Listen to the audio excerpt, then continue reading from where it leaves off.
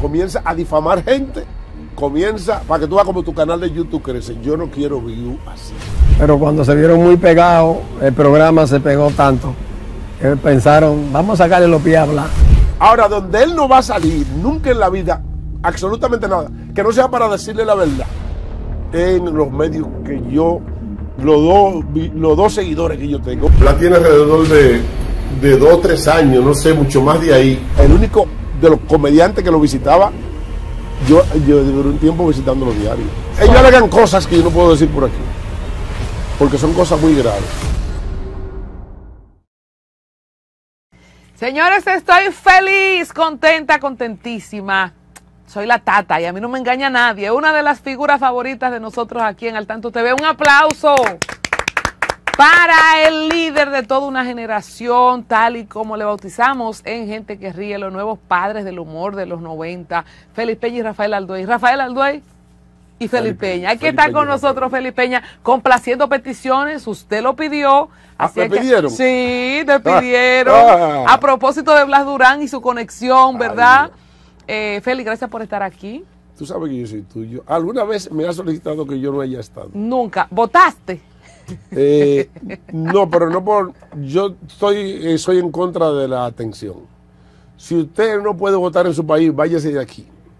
Yo no voté porque estaba en, otro pueblo que no era el, mío. O sea, me fui para el campo a descansar porque trabajo mucho.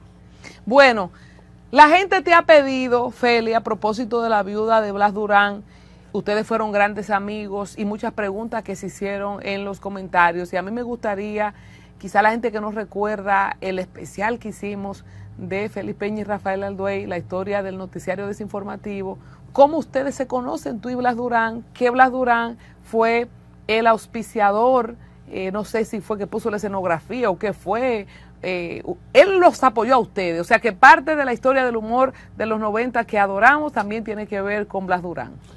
Noticiario Desinformativo era un segmento en Caribe Show, muy pegado, dicho sea de paso, antes de llegar a Telemicro. Eh, pero estaba pegado como segmento. Yo siempre decía, si hacemos un programa con este espacio, puede ser de que impacte. Entonces, eh, sucedió, vino un cambio de gobierno, eh, quitaron a don Adriano Rodríguez, que era el, propietario de Caribe Show, Adri Production, y entonces pusieron a Georgie Rodríguez, que era mi amigo, eh, pero no le interesaba seguir con nosotros. O sea, nos cancelaron a todos, a pesar de que le hicimos campaña al doctor Joaquín Balaguer. Por primera vez yo le hice campaña a Balaguer, porque yo siempre he sido PRDista y de esa gente. Entonces, eh, quitan Caribe Show y nos quedamos nosotros en el aire. Pero ya antes que eso, ya yo, yo era muy amigo de Blas Durán. Entonces yo le decía, Pero ¿cómo ustedes se conocen? ¿Cómo que se hacen Porque Blas, porque nosotros éramos comediantes de Caribe Show. Y él iba a cantar. Y él iba a cantar. Y sus su canciones plebe. Yo le compuse una canción que se llamaba El Gago Plebe. ¿El Gago Plebe? Eh, eh, sí, eh, no te la voy a cantar porque ya estamos desintonizados. Nos hemos ausentado de ese mundo perverso de la plebería. ¡Vecina! Llegó el come conejo. Taca, taca, taca, taca, taca, taca, taca, taca.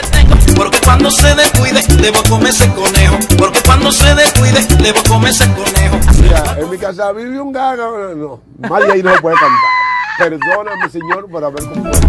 Di tu nombre, cago de diablo.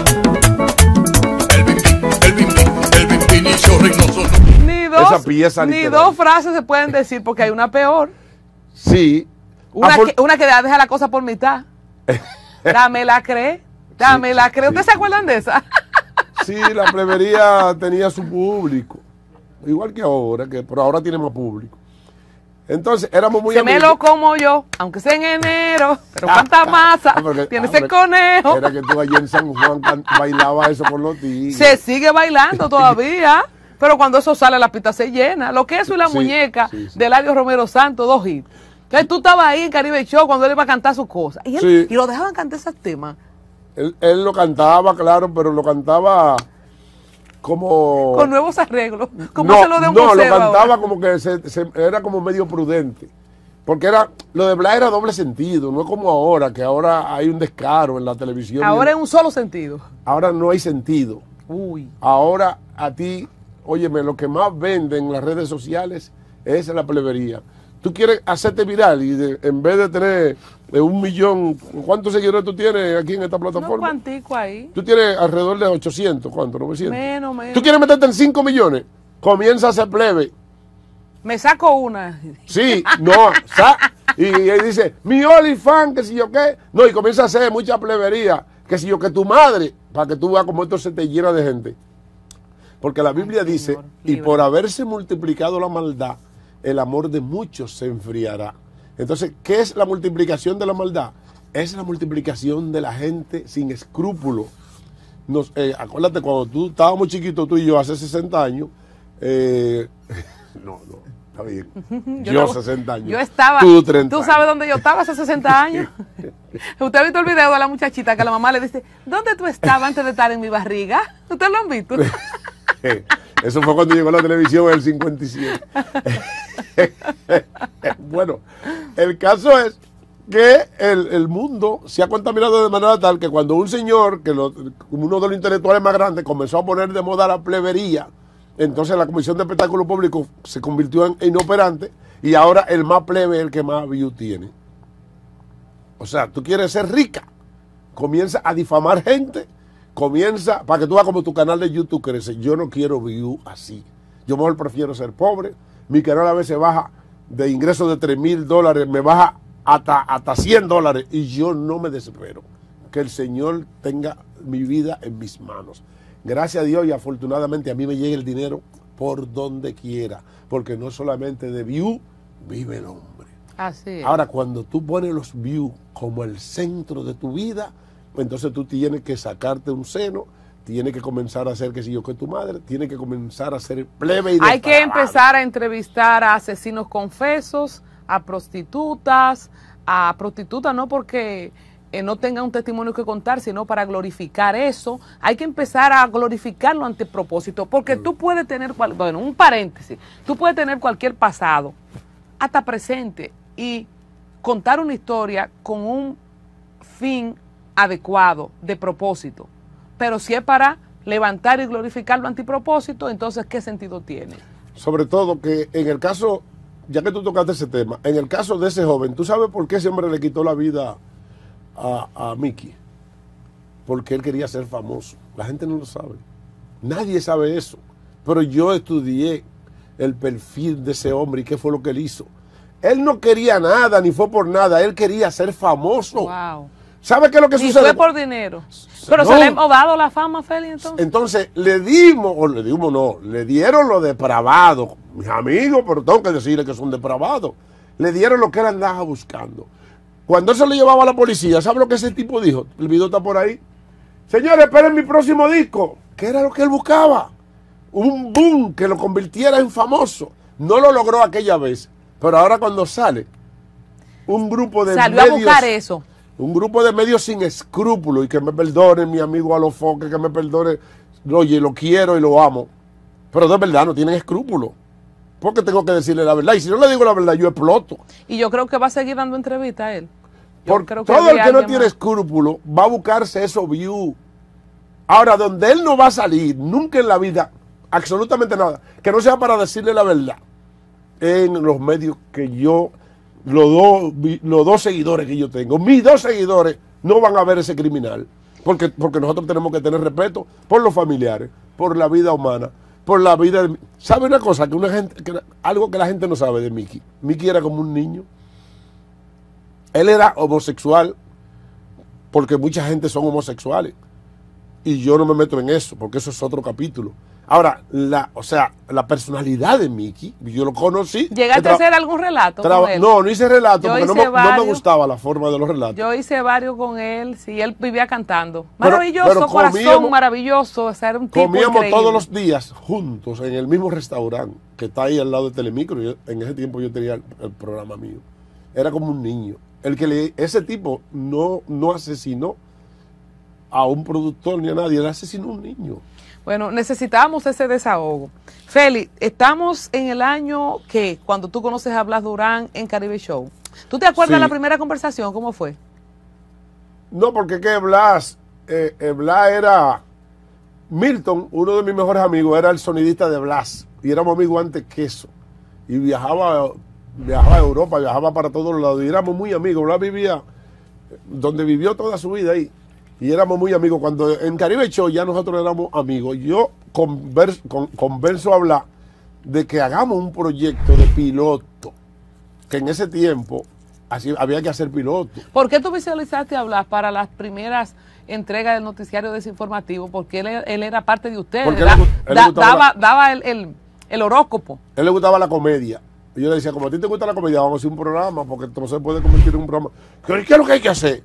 Y recuerdo como ahora que me dio tres mil, tres mil pesos, uno arriba de otro, que era mucho en ese tiempo. Y entonces yo fui donde Javier Moll. ¿Tú conoces a Javier Moll? Que eran pocos, era una, estaba en la Santiago, que era un, un- eran los, uno de los pocos productores que tenían isla de edición modernísima. Y entonces ahí hicimos el piloto de noticiarios desinformativos de 15 minutos. ¿Y tú gastaste los 3 mil pesos en qué? No, en logística. y había que pagarle, le pagamos como mil y pico, ca- casi dos mil pesos a Javier. La logística se usa así. Desde Jesucristo la logística se usa. ¿Qué pregunta hace Colombia? Ni él mismo se aguanta en logística. Porque Porque yo no me quedé pensando, ¿y qué escenografía era? Porque ustedes hacen unos programas como en la calle, te ponían después una, No, era un croma. un croma atrás. Cuando no ¿En qué se cro- esos 3 mil pesos, Félix? No, en la- no, porque no fue en la, no fue en la grabación. Fue En en, en la edición. Porque nosotros hicimos una edición bonita, que todavía se fue el bumper que utilizábamos, donde los cangrejos salían. Esos equipos no existían, ni lo tenía ningún canal de televisión. Los canales de televisión lo que tenían era uno- una, una consolita que se llamaba el TVC, qué sé yo, algo que no tenían efecto ni nada casi, lo que tenían, tenía Telemicro. el- el- todos los canales estábamos comenzando en la- haciendo pinino. ¿Y qué hizo Blas en esa primera entrega? Él salió en cámara. Entonces, el piloto lo hicimos con él, lógicamente. Él salió presentando con nosotros, con Aldo y conmigo. Él hacía el horópoco. Pero nosotros no convenía porque Blas era muy famoso. Independientemente de que no era cómico, era una figura y nos daba fuerza al, pil- al piloto. Y lo llevamos, me recuerdo como ahora, a Telemicro. Lo llevamos porque nosotros éramos muy amigos de Gomedía en ese tiempo. Eh, incluso el anuncio de Navidad para el pueblo que hicimos, lo grabamos allá en la distribuidora comedia de la San Martín con 27. Y entonces, en el canal 4 no nos iba a dar un espacio, porque Georgie ya había cogido la rienda de eso y él no había votado. Después que le trabajamos, mi amigo, ahí está, pero las cosas hay que decirlas como son. Le hicimos campaña a Balaguer y después que le hicimos campaña, nos votaron. Así, como tú lo escuchas. Entonces, fuimos a, a Telemicro, porque éramos amigos de comedia, y ahí el- el- yo lo saco de la oficina. Él siempre era amigo de nosotros, porque nosotros lo acabábamos todos los días en los chinitos salichón. Acuérdate que nosotros estábamos pegados. No fue que nosotros llegamos a Telemicro de que. Dos aparecidos. De que dos aparecidos. No, no, no, nosotros éramos los más pegados de ese tiempo. Los chinitos salichón, el radio. El anuncio de Navidad por pueblo lo pasaban cada cinco minutos en el 9 y en el 4. Y llenamos el centro olímpico, metimos 70 mil personas. Ningún comediante estaba más pegado que nosotros. Antes del noticiario desinformativo. Antes de Telemicro, porque mucha gente dice, estos tipos llegaron a Telemicro. Eso es falso. Nosotros estábamos pegados antes de llegar ahí. Ahora, no teníamos el power de tener un espacio. Y eso estaba reservado para Luisito, Luisito Martí, eh, Boruga, que eran los comediantes que tenían tabla. Nosotros éramos, que nos veían como muchachos jóvenes en el humor. ¿Y cuánto tiempo duró Blas Durán en esa participación con ustedes? Porque hay un cuento muy famoso que él hace y está en el especial. Ojalá que los chicos me apoyen y puedan poner esa parte. De que, que él empezó diciendo el, el, el, el horóscopo y al final nada más terminaba diciendo acuario. De que lo fueron cortando chin a chin. Al dueño hay que decirlo. Y aquí la voz de la miseria desde el centro de la necesidad. En cadena con Radio Tengo Hambre, Radio No Comío, Radio Me Está Llevando el Diablo, Radio Tengo una semana que no consigo un chele. Y todas las radios del país a través de Yo, en sintonía con Noticiario desinformativo. titulares. Ascienden a sargento cabo de cigarrillo. Si quiere mantener su casa bien limpia, Teófilo Barreiro. Si tiene fiebre, gripe, sarampión, dolor de petaña, visite la funeraria La Verdad, que desde que usted llegue lo van a enterrar. Cuando quiera desabollar su carro, Lupita Ferré. Aldoy y Bla no se llevaba muy bien. Porque Aldoy decía que había que limpiar el programa y Bla era la imagen de la plebería. Para ti muñeca linda, aquí yo tengo mi arepa. Para ti muñeca linda, aquí yo tengo mi arepa. Pero no la mano sé, que se me para la venta. Pero... Eh, Entonces yo le decía, no, pero que nosotros no. Y tú no le hablaste al dueño de esos tres mil pesos. No, porque el piloto lo hice yo solo. Porque Al al duey- duey al había que- no existía. pero al duey había que Al duey expli- solamente fue y grabó y se fue para su casa. Al dueño había que, expli- Buscajoseando. al dueño había que explicarle qué, qué significaba esa, esa limpieza. Eh, no, no, no, no. Él no sabía que él le había dado lo del piloto. O sea, eh, al duey fue y grabó conmigo. Yo le expliqué y me dijo, ¿qué es lo que vamos a hacer? No, vamos a hacer un piloto. Así se lo. Me acuerdo, aquí voy a hacer una anécdota, me acuerdo de una persona que apoyamos, ¿verdad? Para un evento puntual y después que la familia recibió el mazo de la persona, no quería que se retratara con la persona porque le afectaba su imagen, pero cogieron los cuartos. Mira, toda la gente que me da 10 cheles a mí, yo le pago su dinero como él quiere que yo se lo pague. Si tú eres, yo, oye, yo creo que los políticos son medio falsos, pero si tú eres política y me da, me deposita a mí 100 mil pesos en una cuenta, yo te hago todo, tu- lo que yo no hago es montarme contigo en una patana.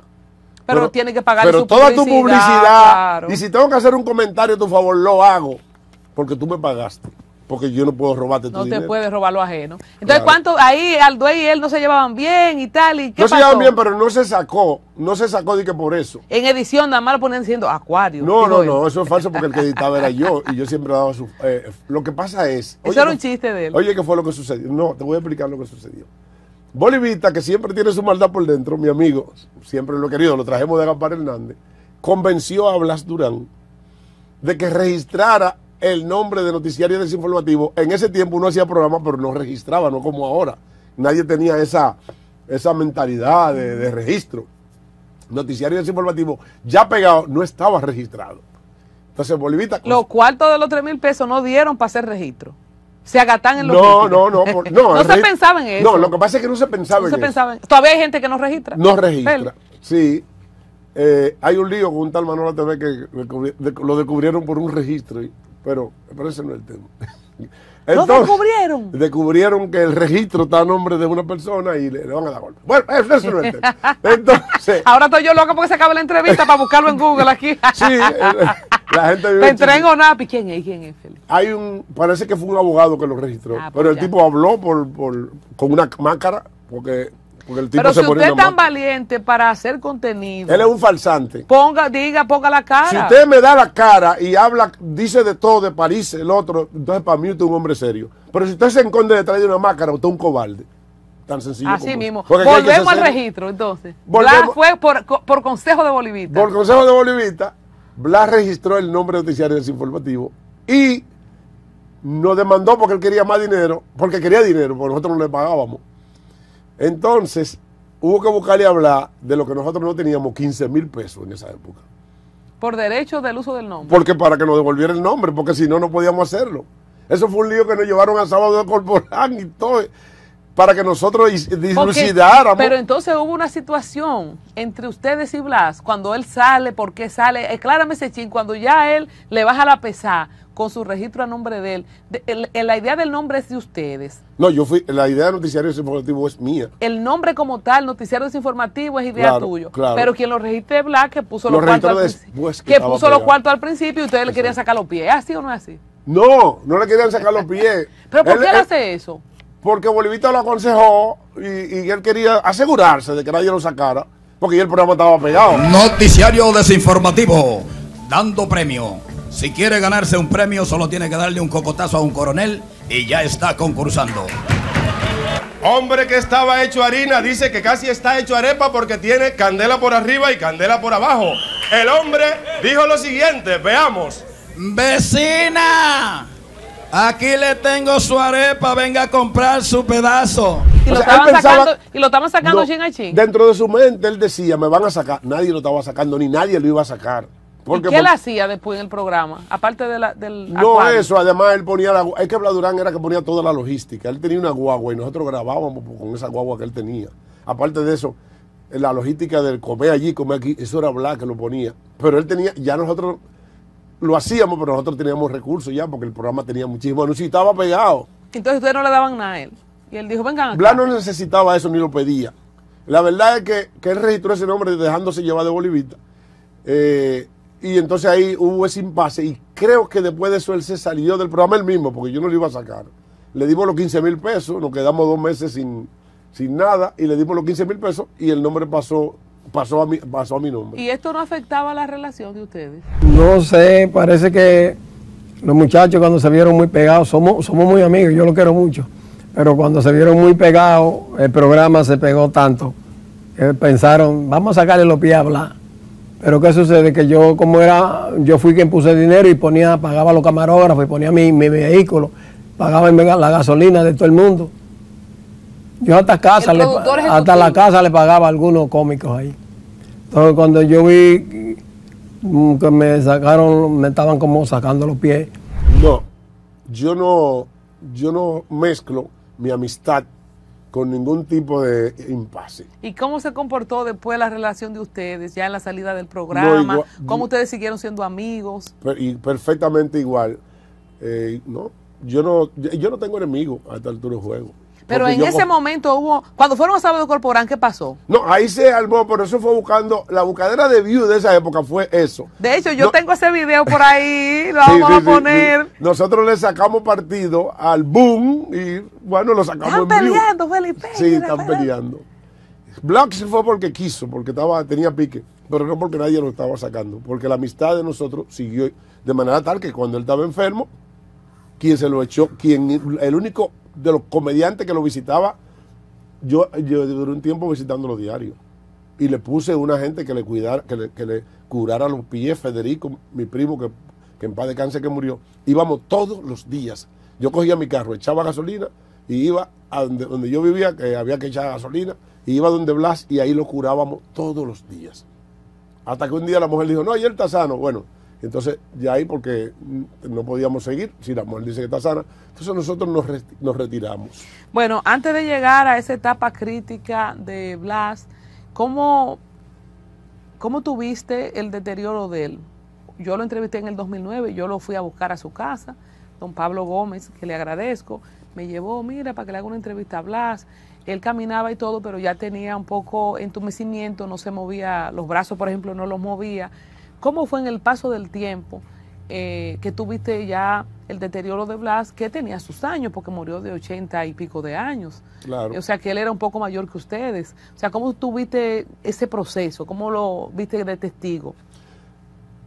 La enfermedad del Parkinson es, es demoledora y hay que tener mucha fuerza de voluntad para tú durar, permanecer más tiempo movilizándote. Si tú no tienes un terapeuta que, que te diga muévete aquí, muévete allí diario, eh, la enfermedad te deteriora, te consume, te consume la masa muscular.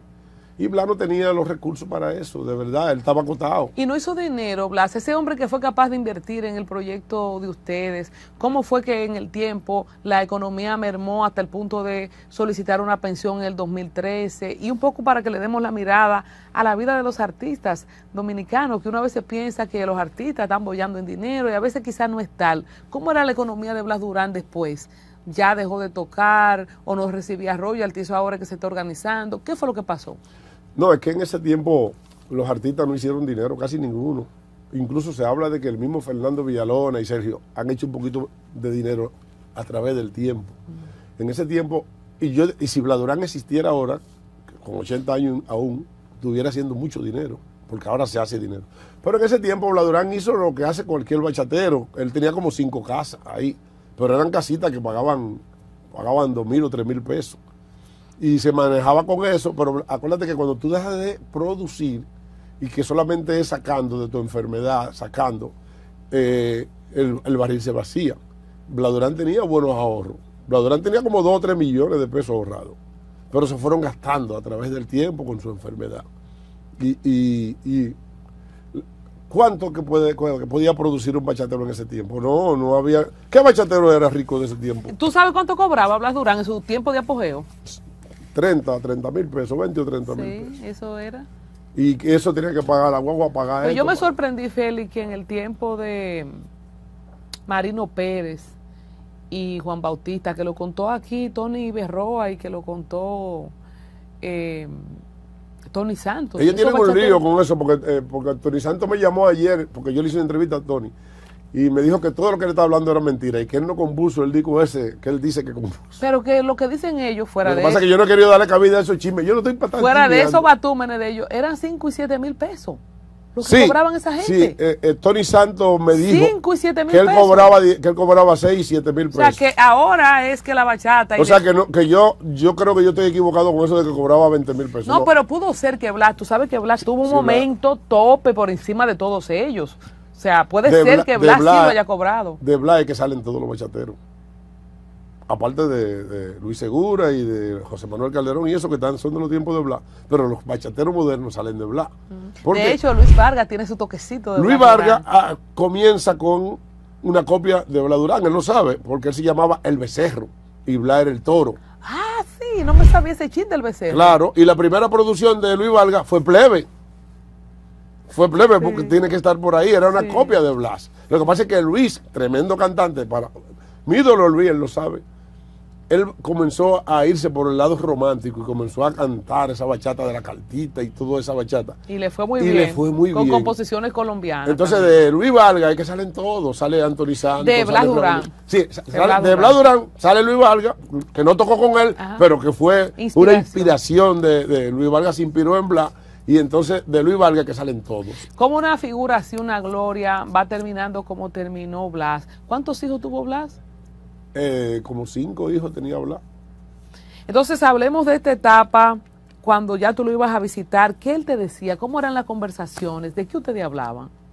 Blas estaba ya, el hombre que tú entrevistaste, ya él estaba, cada día iba siendo más diezmado. Yo lo visitaba mucho, porque, ¿Y de qué hablaban, Félix? no, no, Porque ya ustedes eran evangélicos los dos, no podían Los hablar dos. de diablura, No, no, no. podían hablar de plebería. No, Blas estaba convertido.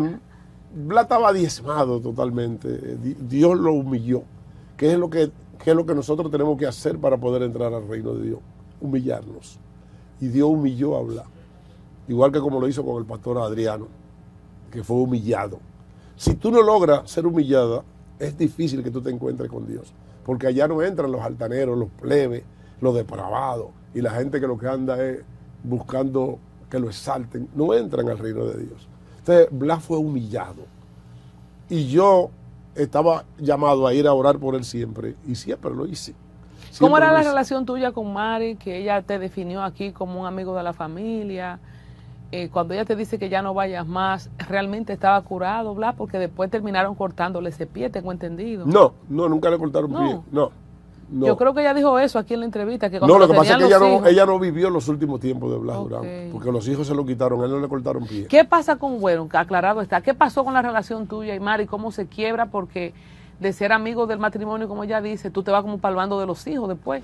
No, es que nunca se quiebra. Lo que pasa es que, oye, comienza, oye cómo comienza todo el lío. Yo siempre visito a Blas, pero no para entrevistarlo, porque hay- es otra cosa que tengo que aclarar, que, que todas las informaciones de Blas salían por mi canal, entonces la gente creía que yo me iba a aprovechar de él. Yo, de cada día, 30 visitas, quizás había una cosa donde él salía en cámara. Un día me llama Mari a mí y me dice, Blas quiere que tú le hagas una entrevista. Digo, Blas, sí, sí, sí, él quiere. Y en ese tiempo todavía le hablaba, se le escuchaba bien. Y dije, bueno, yo voy de Blas, digo, Blas, ¿y es verdad que tú quieres? Dice, sí, sí, porque quiero hablar. Y entonces él ahí se vota y ahí es que él dice que los hijos lo abandonaron. Y yo le pongo así mismo, hijos abandonan a Blas. Eh, Y no el por- pedido de tu amigo. no porque yo estaba buscando view ni nada de eso, sino porque yo estaba da- siendo la voz de un hombre que estaba enfermo y era mi amigo.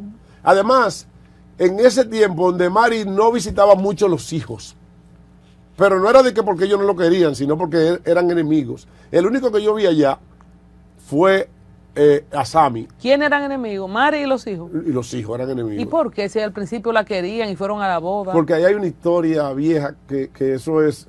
Ellos vienen, si te cuento esa historia, va a tener que hacer 44 videos. Ellos vienen, venían con un pleito desde allá. ¿Qué ¿Por, pasa? por qué? Solo Porque, bueno, porque ellos entendían que Mari se había quedado con todo lo de Blas y, y Mari entendía que ellos lo Eso es. Mari dice que ellos lo abandonaron. Ellos dicen que Mari queda. Entonces, ahí es que Ya, está el discurso. ya. ¿Qué sucede? Blas tiene alrededor, y eso lo doy como testimonio personal.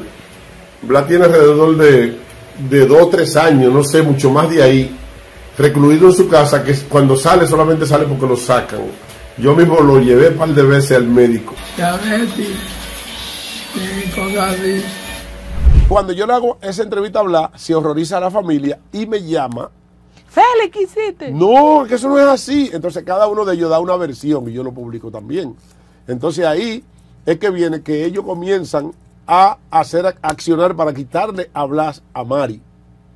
Y comienzan a ponerle, eh, a buscar gente que investigue la vida de ellos y ahí es que descubren muchísimas cosas que no tengo por qué decirla por aquí porque eso fue de dominio público. Entonces ellos le quitan a Blas a Mari. Cuando le quitan a Blas a Mari, Mari no daba. Me sorprendió que tú me dijiste que te dio una entrevista. Ella no daba entrevista. Yo tengo una entrevista de ella que es la mano solamente, porque ella dice, yo no doy la cara. Entonces ahí fue donde ella y yo no nos vimos más, porque yo no quise llamarla, porque entendía que yo lo que iba a hablar, al mar malío, y entonces yo no quise llamarla, y ahí es donde se, se rompe los laxos, no de mala manera, porque yo hablé con ella por teléfono y yo dije, "Bla- Mari, yo no tengo que ver con nada de eso, yo solamente publico lo que ellos me dicen. Entonces, la familia de Blas hace una acción jurídica para quitárselo y se lo quitaron. Y yo lo que hacía era que visitaba donde, en vez de ir donde Mari, comencé a visitar a Blas porque yo no era amigo. O sea, Con- yo no era en amigo esa de entrevista que tú le haces a Blas, cuando ella te dice que Blas quiere que tú le hagas una entrevista, tú das testimonio según tu impresión de que él estaba en su sano juicio. Cuando él dice los, que sus hijos lo abandonaron, él te lo dice que tú lo conociste de tantos años en sus plenas facultades. Los hijos lo que explican es, en la entrevista que yo le hice, que ella lo tenía manipulado. O sea, Pero ¿qué piensas tú que lo viste? Tú lo conociste de toda la vida. Cuando Él- tú lo entrevistas y ese video, si tú nos das la cortesía, podemos poner un pedacito. Se Sí, ve sí, un sí. Blas Durán en su conciencia para ti que lo conocías o no. no, ya Blas Durán estaba totalmente, Blas Durán estaba mal, Blas Durán no se valía por sí mismo. Lo que pasa es que, ¿Tú crees que ella lo puso a decir eso? bueno, decir eso yo tendría que tener prueba. O sea, decir, ella puso a hablar, porque Blas dijo lo que dijo, lo dijo él. En tu cámara con tu presencia. en mi cámara con mi presencia y, y ella quizá le voceaba un par de cositas ahí, pero eso sí oía en cámara lo que ella le voceaba. Pero Blas dijo lo que dijo. Luego, cuando Blas está con sus hijos, Blas cambia la versión. Entonces yo quiero preguntarte antes de estar en los hijos, en toda esa visita que tú lo ibas a ver, ¿tú viste alguna vez a los hijos? No, porque eran enemigos. Ellos no visitaban a Mari. O sea, no y, se por puede ende, decir. y por ende no visitaban a su papá. no lo dejaban entrar. Eh, La una de las hijas que más quería, que más tuvo hasta la- al último tiempo, habla era Yajaira, una que se llama Ana. Y esa muchacha, yo sé que quería hablar, pero ella me, y yo le pregunté, ¿por qué yo nunca te vi? Ella me dice, no me dejaban entrar. Me, eh, eso era con, si, me da, si yo entraba ahí me mataban. Entonces cuando ella logra entrar en ese video que vimos que Mari nos dio, que Lo busca la mala. Lo Entonces lleva una orden de una orden judicial, para Judicial. sacar a Blas. Sí, lo sacaron con una orden. alegando que Ale- Blas estaba en una condición de demencia o que no era dueño de sus facultades. Eh, ¿Qué era? Ellos alegaban que lo tenían sedado. Eso era lo que decía la familia. Y hasta las últimas veces que tú lo viste, ¿tú lo veías sedado o lo veías hablando contigo con coherencia? Es que el mal de Parkinson te pone a la gente tonto. O sea, eh, el mal de Parkinson no es una enfermedad que mejora, sino cada día está peor y se puede ver. O sea, es difícil saber si lo sedó alguien o si la enfermedad lo tiene sedado. Ellos alegan, ellos, la familia, alegan, y porque tienen muchísimas pruebas, pero que yo, yo no puedo entrar en ese... Entonces ya estamos donde los hijos. Cuando tú vas la primera vez, donde qué hijo, eh, donde qué hija está y cómo lo viste. El- no, porque eh, ya entonces eh, los hijos me dieron por Zoom, fue lo que, Zoom no, por videollamada, fue que me dieron la entrevista y me dijeron y explicaron y ahí entonces ellos comenzaron. Entonces, cuando ya Blas estaba en la casa, fue que me llamaron para que yo fuera a entrevistarlo allá, ellos, para que él dijera lo que era. ¿En la casa de quién? En la casa de los hijos. ¿De Entonces, cuál de los hijos? De Yajaira, en la casa de la, en la, casa de, de la madre de la que era esposa de Blas Durán. O sea que al final Blas muere en manos de su esposa, Muere de, en su primera de su esposa. Sí, En esa casa murió. sí, sí. Que es donde vive la Yajaira. Es donde vive Yajaira, claro. Ok. Entonces cuéntame cuando tú vas y lo ves, en qué estado lo viste, cómo estaba, te conoció. Sí, sí, claro, porque Blas tuvo conocimiento hasta allá, ya en, los, en el último momento ya él estaba divariando, pero Blas todo el tiempo, nosotros hicimos mucha entrevista con Blas, yo fui con Pepe Corniel, fui con Lady Cruz, oramos por él y él estaba en su sano juicio. Cuando él cambia la versión, ¿qué, qué te, ¿cómo tú lo recibes, habiendo tú visto? ¿Y cómo lo trataba Mari, tú que ibas siempre a la casa? ¿Tú qué puedes decir? ¿Estaba limpio? Eh, ¿Tú lo viste si le daban comida? ¿Cuál era tu impresión? ¿Estaba bien o maltratado? No, él no estaba limpio. O sea, para ser totalmente honesto, porque si nosotros somos hijos de Dios, nosotros tenemos que decir la verdad. Bla no estaba limpio. Tenía, eh, pedía, en la habitación donde él estaba tenía un mal olor. O sea, esto es, y yo yo lo estoy diciendo esto porque tengo que decirlo, porque así es. No porque yo quiera hacerle daño a Mari, porque yo no tengo, ya eso es un pleito entre ellos. Ellos tienen un pleito judicial por, seguro por los bienes que le quedan a hablar, le quedan algunas casas y seguro como ella era la esposa. Feli, no es normal que una persona ya que no se mueve y de esa edad, ¿era un olor extraordinariamente o era normal de un enfermo en cama? No, porque, no porque tú, yo- tú puedes darlo enfermo que te hiciste. Si te bañan y te tienen en perfumadito, tú no tienes por qué, no tienes por qué tener ningún mal olor. A menos que no sea el olor de la enfermedad, pero que Bla no, no tenía, eh, no tenía esto que tienen, que te Sonda. ponen para todo. No, Y él hacía pipí normal. Sí, no, Bla no tenía. eh, ahí que estaba, porque había pedido la Pero había que hacerle todo, Feli, había que ponerlo a, a Había que hacer su bañarlo. necesidad y ponerlo a hacer su necesidad. Sí, y había que limpiarle el entorno. Tenía pamper. Creo que sí, que tenía pamper. Y- Pero con eh, eso no huele a limpio, por más que tú, un muchachito con un pamper, que es un niño, sí, con un par de horas te da. Pero tiene que tener una gente que lo cuide para que se mantenga que higiénico. dice ella que no tenía quien lo cuide porque con ese dinero que ella recibía no alcanzaba entre sus medicamentos y lo poco que recibía de la casa, no podía pagar un servicio, dice ella. Ah, bueno, entonces ahí se justifica. Eh, pero lo que yo estoy diciendo es la realidad. Sí, O sea, sí una había un descuido, tú puedes... Sí, había descuido. De que sea porque no había recursos, ya eso es otra cosa. O sea, yo no te puedo decir, sí, había recursos y él... lo-". No, no, no, porque yo no vine aquí a deteriorar la imagen de esa mujer. Cuando fue, cuando fuiste donde Yajaira, entonces cómo era el estado de él, si había otras No, condiciones, cómo era. diferente, diferente. Allá no, allá, allá no había mal olor. Allá lo cuidaban. O sea, estoy diciendo porque yo iba lo- lo- con la misma frecuencia que visitaba a Mari, entonces yo visitaba a, a, A tu la- amigo, la- a donde mi amigo, que porque yo no, yo no Ah. andaba detrás de, ni de la mujer, ni de los hijos, ni de la mujer, de, de nadie, yo andaba detrás del amigo. Si de ahí sacan a hablar y lo llevan a uno al hospital, ahí a ese hospital hubiera ido yo a ver mi amigo. ¿Y qué fue pasando en el tiempo ya por la misma enfermedad? De todos modos, eh, al final, eh, pues eh, murió. O sea, ¿cómo fueron esos últimos días? Si lo viste. Yo, lo lle- yo fui que lo llevé una semana antes al, al- al médico. O sea, fue que yo no me descuidé nunca de hablar durante. Entonces, nunca le cortaron ningún, ninguna extremidad. Le cortaron una pierna porque él tenía una, una úlcera. Solamente hay que sanarte su pie. Yo no tengo nada en los pies. No, Tú no. tuviste hasta la última No, Blas tenía un problema de una llaga en un pie, pero ese pie nunca se lo cortaron. Eh, una sem- eh, tres días, tres o cuatro días antes del morir, yo se lo llevé a Cruz Minian. Yo lo está grabado un video. Y ahí fue que Cruz Minian me dijo, él está, él ya, él, ya, él ya se va a morir. Me dijo, así mismo me lo dijo Cruz Minian. Pero yo estuve con mi amigo. ¿Por qué lo llevaste tú donde Cruz y Minian? Porque, Porque los, yo- los por- hijos no estaban. No, porque yo soy muy amigo del doctor y cuando yo llevo a una gente, lo atienden rápido. Entonces no es lo mismo que ellos fueran con él donde Cruz y Minian, y Yajaira me llama, Feri, yo quiero que tú, yo quiero llevar a papi al médico. Digo, ¿a qué hora te busco? Ah, ella estaba contigo. Sí, fueron ellos que lo llevaron, pero, pero yo fui el que fui a tocar. eh, Yo entro por la clínica del doctor, porque el doctor es, somos, somos canchanchanes y a mí no me paran. Entonces cuando a mí no me para el doctor, tengo que hablar y, ah, no, no, que venga, que entre. Tan bello, ese ángel, Cruz Sí, sí. ¿Y cómo te enteras de la partida ya de Blas? eh, me lo dijeron como a la como a las 10 de- cuando yo estaba durmiendo como a las 10 yo lo supe por la noticia no me llamaron no, pero, pero está bien Eh, no hice video de una vez porque ya esos views yo no quería ganármelo hice un video explicando como a las 2 de la tarde por ahí pero de verdad que yo entiendo que debieron de haberme informado inmediatamente murió porque yo me preocupé por mi amigo. ¿Y fuiste al entierro? No, porque yo tenía una actividad de este lado. Yo fui, estuve en el velorio. Ajá, Estuve en el velorio todo el tiempo. Yo, claro, yo estuve en el velorio todo el tiempo, pero el, el entierro era el otro día. Y cuando llegué, hacía 10 minutos que había salido del entierro. Entonces ya se me hacía muy complicado coger para, para el cementerio y no fui al entierro. Una de las cosas que ella lamenta con mucho dolor es que ella no pudo y no ha podido ni acercarse a la tumba. Eh, tú que viviste y compartiste tantos momentos con el matrimonio, fuera de, hasta por cansancio, lo que sea, vamos a justificarla a Mari. No tenía recursos, no sirve de la espalda, es muy duro.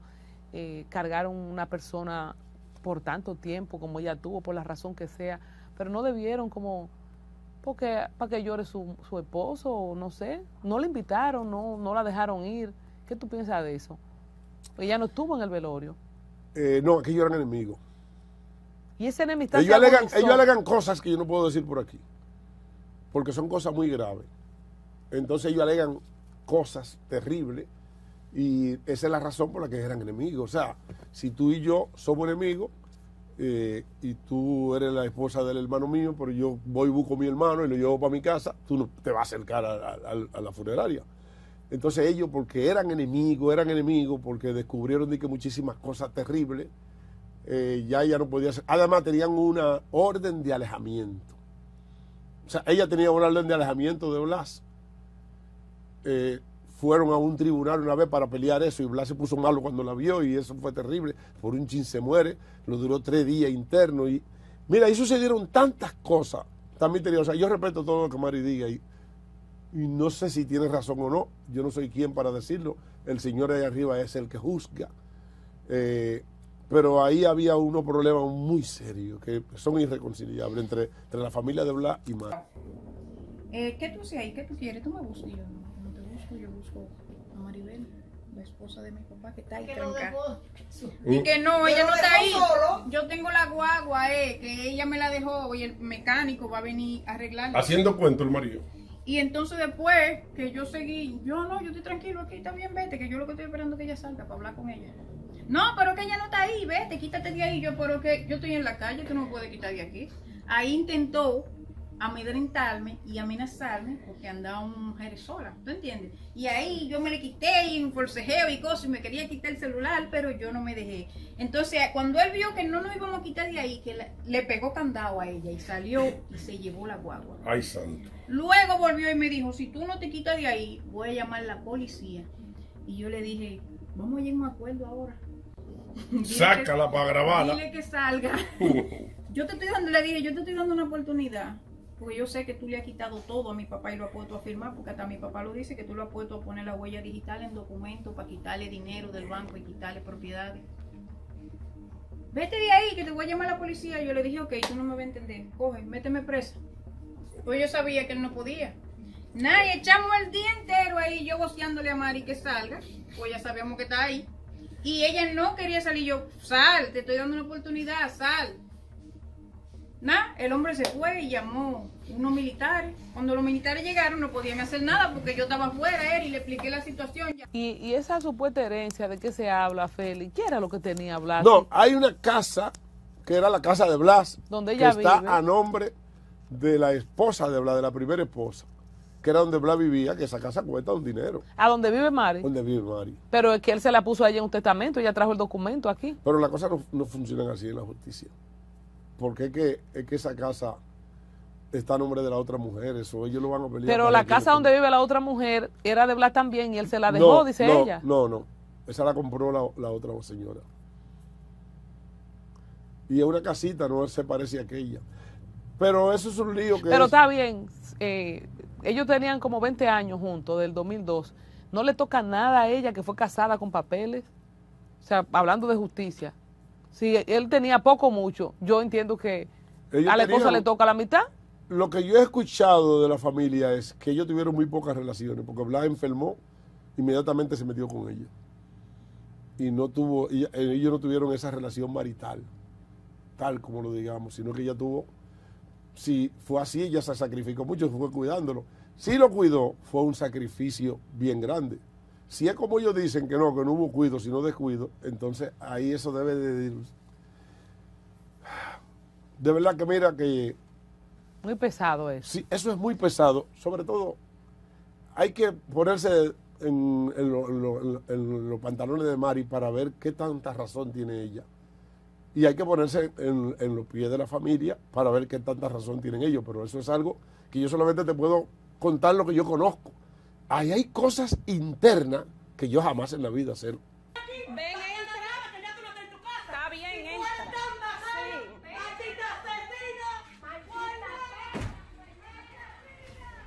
tengo información, porque yo solamente iba a ver mi amigo. Pero ¿y tú no lo ibas a ver antes de él caer así enfermo? ¿Tú no viste cómo era la relación de ellos dos? No. Porque ahí vemos fotos del matrimonio y él estaba muy bien, parado, de pie. Él era un hombre. Él ya estaba, hombre. ya, él, él ya, ya- él hizo esa crisis en Nueva York. Y después que él vino con la crisis fue que ellos se casaron. Eso es lo, lo que dice la familia. Esa es la versión que da, Ma- que da Ana, que él se casó ya cuando él Vamos a traer a Ana aquí. Yo creo que esa, esa muchacha te puede arrojar luz, esa sería la otra campana.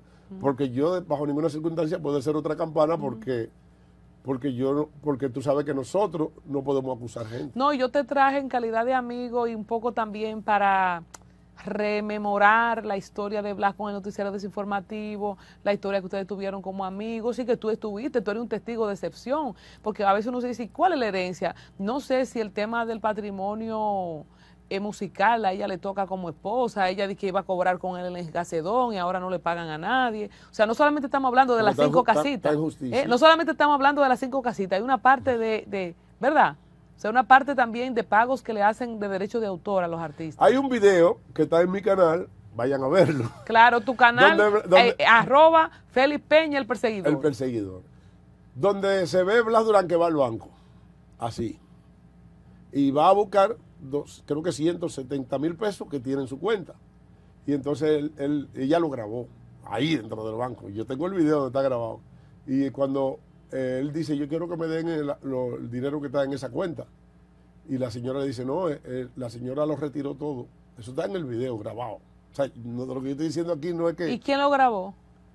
ella lo grabó y me, y me, me dio esa entrevista y me dio la información y yo lo subí así.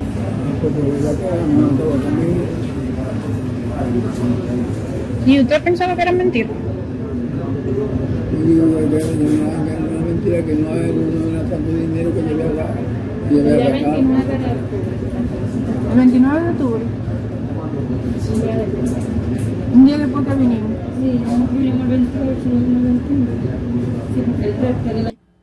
Donde, ¿Y por qué ella fue al banco con él a buscar dinero si ella sabía que lo había sacado? no porque creían que estaba ahí el dinero. Eso era cuando ya Blas estaba con ellos. Con- ah, con lo- no, no, no, entonces espérate que tú me estás confundiendo. Quien lo lleva al banco no es Es la esposa, hija. es la hija. La hija y necesitaban dinero para la terapia. Ajá. Entonces fueron al banco a retirar dinero para la terapia. Se suponía que habían 175 mil pesos supuestamente en la cuenta.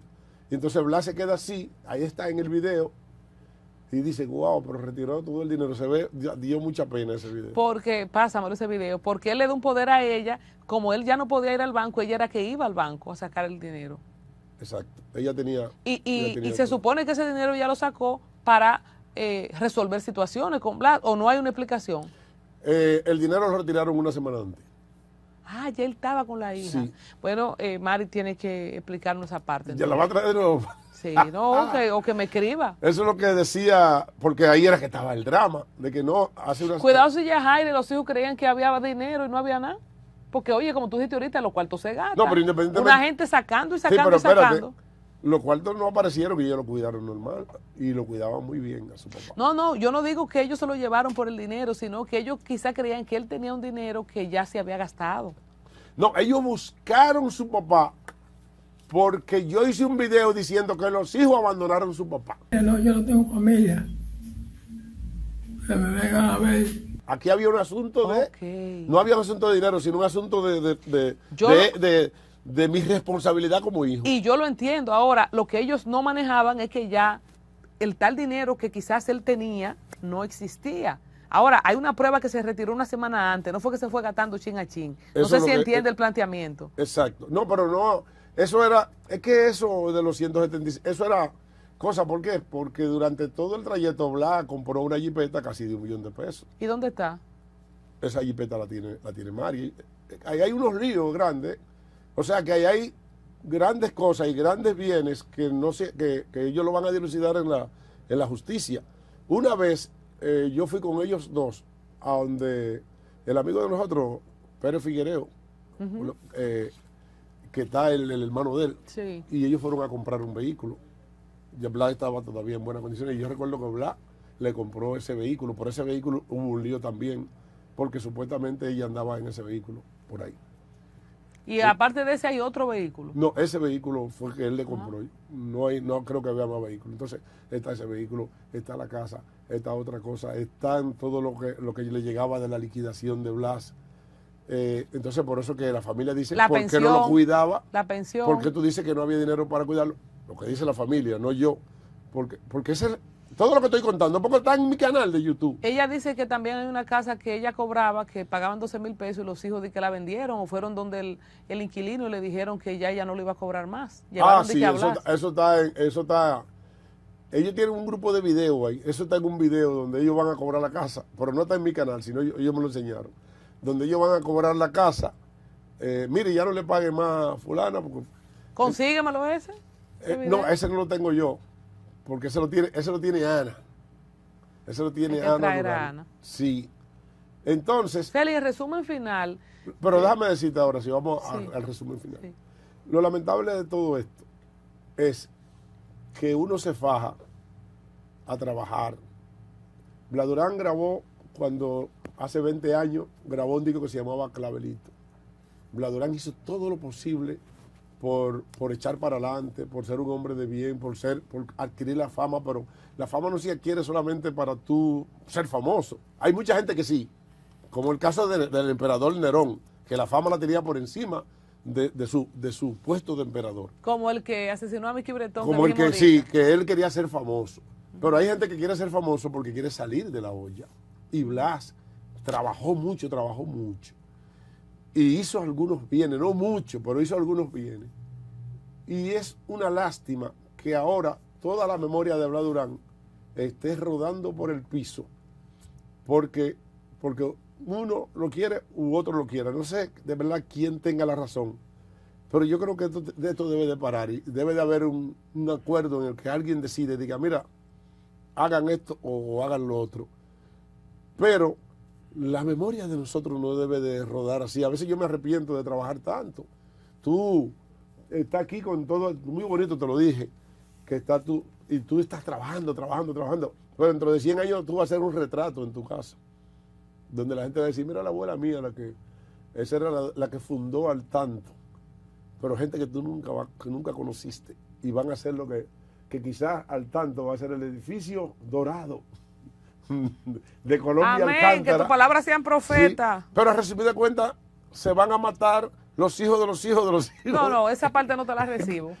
Pero eso es lo que- vamos a poner en un fideicomiso. Sí, pero independientemente de que tú no me lo recibas, en el 99% está sucediendo con un personaje muy, una, una de las personas más populares. ¿Te arrepientes en algún momento de esos videos, de presentarlo tan deteriorado? Hay gente que te acusó que te estabas aprovechando para hacer contenido en YouTube. ¿Te sientes satisfecho porque hiciste lo que tuvo? Porque quizás si tú no haces ese video, sus hijos no lo rescatan, él no tiene la oportunidad de terminar sus últimos días con sus hijos. O sea, ¿qué, qué sentimientos encontrados tú has manejado? con lo que te tocó fuera de la tristeza de ver la pérdida de un amigo en las condiciones que estás narrando. Yo te dije que de, de cada 60 visitas que yo le hice hablar, quizá hice un, hacía un video. Y no lo hacía porque vamos a hacer un video. No, Él te lo pedía. no él, sino ellos mismos me decían, tenemos que hacer un video para que la gente vea cómo está Blas, para que, no, para que la gente no se olvide de Blas. Porque hay una cosa que la gente no sabe. De que no saque a esta persona así, pero ¿y qué hacemos? La ponemos en el anonimato. Entonces, La matamos antes de la morirse. matamos antes de morirse. Por ejemplo, te voy a to- tocar el caso de Benja Carolina que me quisieron crucificar. Pero Benja Carolina eh, vive una vida normal y paga casa. Paga casa no, porque ella vive en la casa de la mamá. Pero todos los días se levanta a cocinar por la mañana, compra desayuno, compra comida, compra cena. Be- Benja Carolina me pidió que hiciéramos un canal de YouTube para ella tener ingresos. Entonces, ¿qué hacemos con todo ese tipo de cosas? No, que no tiene capacidad. Pero ¿y qué es lo que ella sabe trabajar? Ella sabe ser ama de casa, sabe hacer eso. ¿Qué hacemos con su vida? O sea, yo dije, lo que hablan, nadie le deposita. Nadie le deposita. Blas Durán, yo nunca le di dinero a Blas, porque Blas siempre tenía dinero. Es más, él me dio a mí. Porque Blas un día me preguntó, Feri, pero tú vienes todos los días y tú tienes, tú tienes gasolina pechada. Digo, bueno, hoy no tengo. Y dijo Mari, que es testigo, dármele 500 pesos a Feli, porque a le entraba dinero todos los días de su pensión. Quizá le entraba mucho más que, mucho más que a mí. ¿Tú me estás entendiendo? Entonces, nadie mira en qué condiciones está el otro. Benja Carolina no debe de salir así a los medios. ¿Tú has ido a la casa de Benja Carolina? Tú has visto de, de lo que ella come, se está muriendo, o sea, está grave, está en cama, Viña Carolina anda caminando y cocina ella su propia comida y todo. Y así hay múltiples gente que queremos sepultar porque ya no está en condiciones de salir al aire. Cuando yo entrevistaba a hablar era porque ellos mismos me decían, vamos a hacer una entrevista a hablar para que la gente vea, porque nadie quiere que su artista se le muera eh, como artista. Y también cuando se le hace una entrevista a alguien, alguien tiene compasión y dice, porque tú sabes, hubo un, un artista que le pagó a la clínica a Blas Durán, que gastó casi 200, 300 mil, creo que le gastó en la clínica, porque tuvo interno Blas en una clínica. aquí. ¿Quién fue ese? Romeo Santos. Lo digo porque él no quiere que lo digan. El tipo es buena gente, Romeo. Si lo dicen, jamás le doy nada. Tengo que decirlo, ese tipo es buena gente. Porque lo dio de manera desinteresada. Le pa- pagó todo eso. Y todo eso es porque lo veían en mi canal. Otros artistas que no fueron, que no voy a mencionar su nombre, me decían, yo quiero ir a hablar porque quiero. Ramón Álvarez le llevó una silla, le llevó una silla de estas que, cami- que, que caminan. ¿Por qué él le llevó esa silla? Y fue y creo que le dio una ayuda también. Porque lo vio en mi canal. Si yo caigo con cualquier enfermedad, que Dios, Señor, me libre, que nunca caiga. Pero si caigo, no deje de entrevistarme. Porque entonces, ¿qué, qué van a hacer conmigo? Si, si mis hijos que no puedan, que yo lo dudo porque mis hijos están bien. Pero si tú tienes un artista que no tiene posibilidades y no lo exponemos, ¿cómo recibe ayuda? ¿Cómo recibe pensión? Recibió cosas porque lo veían, ay, está muy mal, vamos a ayudarlo. ¿Tú me estás entendiendo? Entonces, ¿qué? Eh, No, cuidado, que hay que preservar la imagen de ese hombre. Pero ¿cuál imagen? La, la mejor imagen que tú tienes es que tú necesitas comer cuando te enfermo. Es que tú necesitas medicina cuando tú enfermo. Es que tú necesitas que alguien venga y te lleve al médico. Tú necesitas que algún médico venga y diga, pero mira, a ese hombre se le pueden poner los dientes, como ha sucedido, como ha sucedido con mucha gente y con muchos artistas, que dentistas han dicho, vamos a poner los dientes, llámalo, yo quiero. ¿Por qué lo ven? Si los artistas lo, lo llevamos al anonimato, lo estamos, lo estamos matando Antes de tiempo. antes de tiempo y lo que está es sufriendo y pueden hasta sufrir hambre.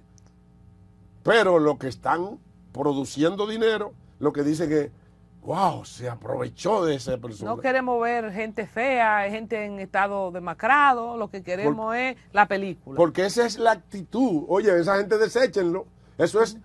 Hay estados que yo no quiero calificarlo ni de comunista, ni de. No, hay estados que lo que hacen es que matan a las personas que, que están desechados, a los parapléjicos, a los que no pueden valerse de sí mismos, los sacan de circulación. Eso es lo que la mayor parte de gente de los medios quiere que hagan con nuestros artistas, que ya no tienen eh, posibilidad de, de- de discernir con su mente. Félix, yendo al inicio de la entrevista, ¿volverías a hacer el noticiario desinformativo? Ivo, Ivo, Eh, Ivo, eh. Ivo, Ivo. Aldoy me lo ha planteado en muchísimas ocasiones. Lo que pasa es que yo, cuando estaba joven, siempre dije que yo no iba a ser cómico después de que me pasaran los años. Aunque yo puedo hacerlo porque es un humor político que nosotros hacíamos. Noticiarios informativos sí. Hice una película recientemente que no fue muy bien porque tiene 3 millones de views junto con Pachulí. Y ahí me vestí de mujer, pero no me gusta ya vestirme de borracho. No solamente por mi religión, sino que, que yo creo que yo tengo que respetar mi edad y a mi familia. ¿Qué vamos a hacer con el noticiario desinformativo Ivo, Ivo, Ivo? Vamos- Es un patrimonio de la historia del humor Sí, dominicano. sí. No, pero- Registrado por Blas Durán. No, ya eh, cuando le dimos los 15 mil pesos, él me lo cedió a mí. Eh, se puede hacer una versión moderna, como el Antinoti, que es una versión de noticiario desinformativo, pero de ahora. Se puede hacer una versión de noticiario desinformativo eh, con la... Y ahora sí se hace bueno. Lo que pasa es que para hacer eso, nosotros pasábamos día tras día, hora tras hora trabajando ese programa. Por eso fue que se pegó, fue mucho trabajo. Y si lo hacemos de igual manera, hay que dedicarle todo el tiempo. Y vamos a poner dos talentos y yo- jóvenes, si ustedes no quieren. Y yo, sí. Vamos a poner dos He visto muchachos. un par de muchachos que han salido ahí. Sí, Sí, yo- se puede pero hacer. no han seguido. Yo vi unos muchachitos. se puede redes. producir. Se puede, vamos a producirlo, vamos a producirlo y vamos a poner. Eh, el ¿A mi- quién al tanto? Sí, aquí en el Vamos a tanto. poner a la gente al tanto. con Vamos, a que la gente llame para hacer noticiario desinformativo con, con para meterlo en lo que es la política y todo lo que está pasando. Porque ahora, Y ya, si tú no quieres hacer eso, te ponemos a hacer a ti lo que hacía Blas Durán Eh, Acuario. Eso no se usa ya. No, no, no, yo puedo Eh, salir- eh, ¿Cómo se llama eso? puedo- El horóscopo no se usa ya. Ya no, porque, porque Satanás eh, se le quitó ese poder. Señores, gracias, Félix Peña, siempre un placer. Gracias por darnos de- desde tu perspectiva esta mirada a la vida de Blas Durán, que es un gran favorito de mucha gente que yo quiero, que puso mucha alegría en los corazones dominicanos, que te llevaba esa, esa comedia a la música, ¿verdad? A la bachata, al Claro, merengue de claro. cuerdas. Y nada, lo recordamos bonito. Está abierto también para que vuelva Mario, para que venga cualquiera de sus hijos. En el caso de su hijo Sammy, Yo le Sammy, ma- te ¿verdad mandé el número llama? de eh, Sammy, Sammy, Sammy está en Nueva York. O Ana, estamos abiertos. Gracias, Félix. Gracias Dios te a ti. bendiga. Y bueno, no me invitaste, pero por aquí estoy. Aquí estamos. ¿Cómo que no? Tú estás invitado siempre. Ah, bueno. No, yo digo a a la- eh, ¿Cómo era que decía? En un mundo que chocan, vamos a cerrar así. Consciente de que el hombre vive en un mundo que chocan, se rompen un pie, la llevan al Borgan, a sabienda de que debe existir la más completa libertad para profesar y discutir cualquier doctrina como forma de condición. Era así que yo decía. Era así.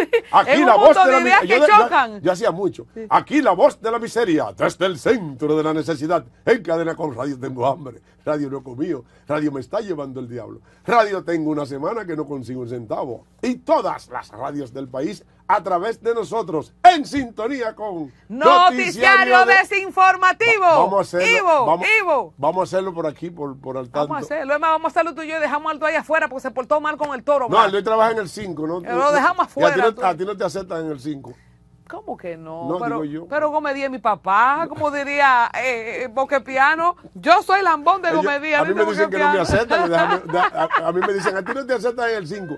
Y yo ayer llamé, la, hace un par de días, llamé a la licenciada y digo, necesito un pasaje para Puerto Rico. Me dijo, ven, ven a buscarlo. Esta la gente me dice que a mí no me aceptan allá. Digo, pero que a mí me, yo hasta chateo con Tú haces lo que tú quieras. Ahí yo sé mi casa. acá. Por eso yo Es no- más, la mitad de la fortuna del señor Gómez se la debe a ustedes. para, ah, bueno, él me debe su carrera. tú sabes que, tú sabes que- Como diría el Pachá. ¿Tú sabes cuál fue la primera, antes de de existir Telemicro, cómo fue que comenzó el Emporio? La gente no sabe cómo fue que comenzó.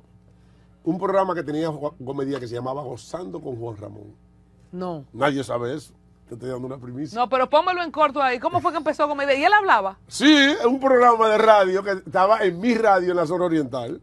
Se llamaba Gozando con Juan Ramón. Así comenzó todo el Emporio de los co- ¿Y de qué él hablaba ahí? Cuando eso no existía distribuidora comedia, ni creo que sí, que la distribuidora ¿Y existía. de qué él hablaba ahí? Oh, era un programa para hablar de, todo, de música. política. O sea, tuyo, Félix. claro que sí. Gozando embuste tuyo. No, No, es- cierren eso, hombre.